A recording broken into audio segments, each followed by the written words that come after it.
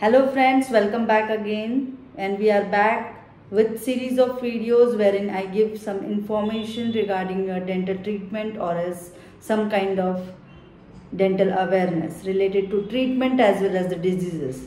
So now many of us like we get to know or else we are very much uh, keen to know what all precautions are to be taken after a root canal treatment or endodontic therapy or else the other name is root canal therapy.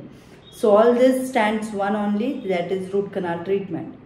So there are as such there are nothing any of the precautions which are supposed to be taken theoretically or else like what you can say there are mm, it will not cause any harm okay so there are as such broad in a broader perspective there are no uh, means as a individual wherein if you have undergone root canal treatment you are not supposed to take any kind of precautions.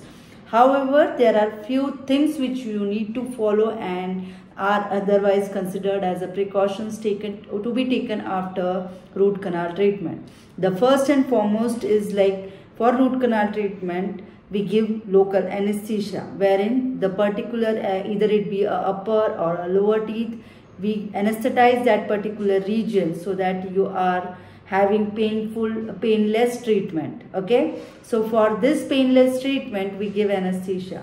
So the effect of anesthesia will last for around uh, two and a half to three hours sometimes four hours as well. In some condition it wears off very early.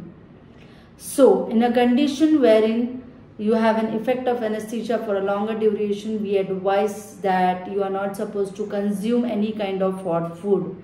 What happens if you consume any kind of hot food, you will not get to know what kind of temperature uh, it is and there will be some kind of burning or else burning of soft tissues.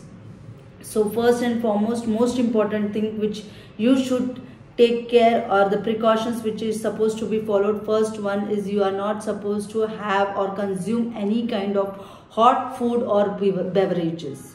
The second most important thing which you should follow is like you are not supposed to have or consume or eat anything for another 20 to 30 minutes. Why? Because so for a minimum duration even even if you have to like consume water or something like that please uh, we tell that don't have anything for another 20 to 30 minutes. Why?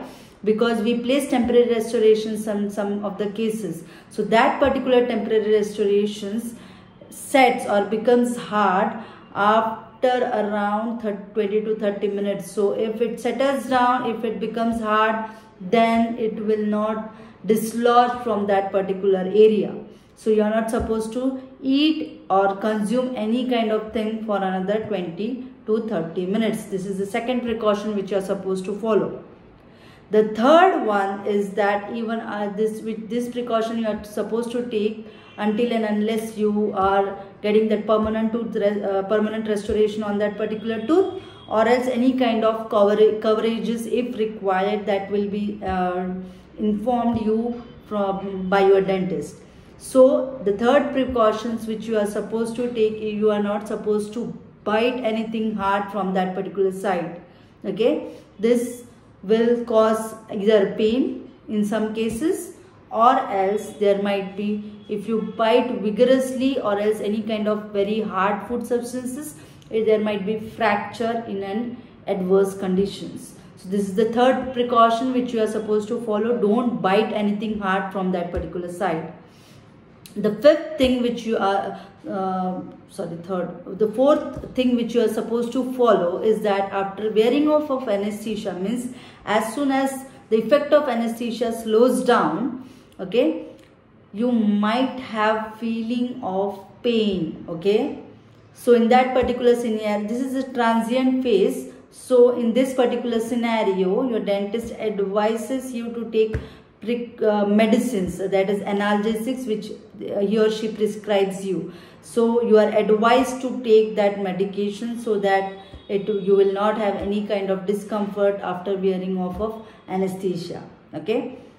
The fifth thing is that if after doing all this you are having any issues visit to your dentist. So these are the five things which you have to follow or else the five precautions which you are supposed to take after root canal treatment. Have a good day guys. Take care.